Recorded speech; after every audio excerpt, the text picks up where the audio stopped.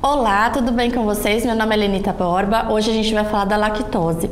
A lactose é o açúcar que faz parte da composição do leite, seja ele humano ou seja integral. Nós só devemos é, evitar o consumo da lactose se nós tivermos intolerância à lactose. O que, que significa isso? Que o nosso corpo não produz uma enzima chamada lactase e dessa forma fica difícil o nosso organismo digerir. Como efeito colateral disso, a gente pode ter a diarreia, né? E se isso persistir, pode levar à desnutrição.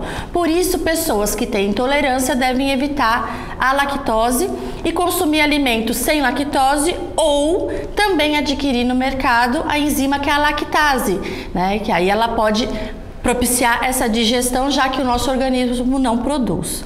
Por que isso é importante? Porque hoje na mídia veicula-se muito por leigos que nós devemos evitar o consumo de leite. A gente sabe que o leite é extremamente importante e deve ser utilizado de forma exclusiva até o sexto mês de vida e que a partir daí a gente deve consumir ele diariamente porque ele é uma fonte de proteína, entre elas o caseinato de cálcio e a proteína do soro de leite que a gente conhece por whey protein né?